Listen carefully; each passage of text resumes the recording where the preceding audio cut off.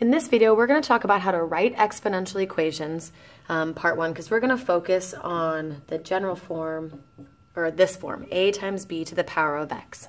So let's take a look at some examples and understanding what this is. So when we have equations in the form y equals a times b to the power of x, we have to know what these values mean so we can find them. So A always represents your initial amount. It's what you start with. So in a situation, if I say the population has 100 people, well, A would be 100. If I say the bacteria starts with three cells, then A would be 3. The B is your base. This is our common ratio. In other words, it's the number that you keep multiplying by over and over again. So if I say your money doubles, B would be 2. If I say the amount of carbon has a half-life, B would be a half. If I say it increases by a factor of 1.5, B would be 1.5. So B is that number that you're repeatedly multiplying by when you look at the pattern. So now let's take um, do some examples to actually write our equations. In this example, we're given a table to show us the number of 20-year periods in relation to the number of coyotes. So the first thing we need to do is identify the values we're looking for. So we need A, that's our initial value, and we need B, that's our multiplier.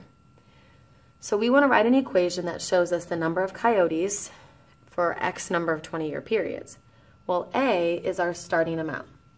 We can see that in year zero, there were 15 coyotes to begin with, so A is going to be 15. We need B, that's our multiplier. So basically, I'm looking for the pattern. What am I doing to go from 15 to 45 and then 45 to 135? And remember, it's a multiplier, so that's what I'm trying to see. We can see that we keep multiplying by 3 over and over again. So every 20 years, the number of coyotes triples. Now let's say that you couldn't tell that. You can't just look at that and say, oh, that's 3. The way we figure it out is if we don't know, we're going to take one y value, and divided by the 1 right before it. That's going to give us our common multiplier. So now that we have our initial value and our common multiplier, we can write our final equation by substituting these values in for a and b. So we end up with y equals 15 times 3 to the power of x. Now I can use this equation to find to answer questions about it. So if I wanted to know well, after 40 years, or I don't know, 100 years from now, how many coyotes will there be? I can substitute in that time for x and solve for y. If they ask us to write it as a function, that just means we're going to replace y with our fancy function notation for y, which is just f of x. It all means the same thing, though, and I can still use it to evaluate situations.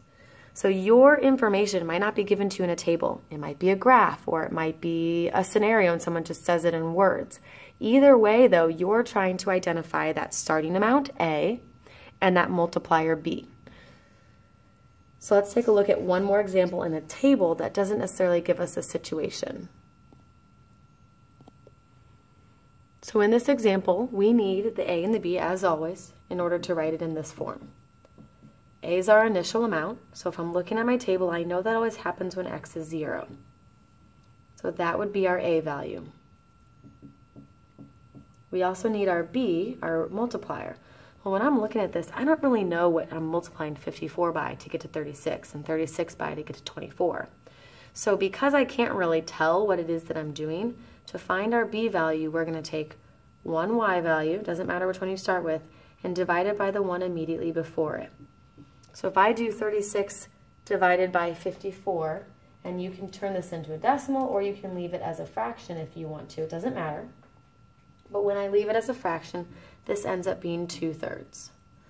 So my b value is 2 thirds, which shows me that it's decay, which makes sense, right? Because I'm decreasing at a slower rate as I go. So now that we have our a and we have our b, we can just write our final equation, y equals 24 times 2 thirds to the power of x. Let's take a look at one more where we're missing another piece of information.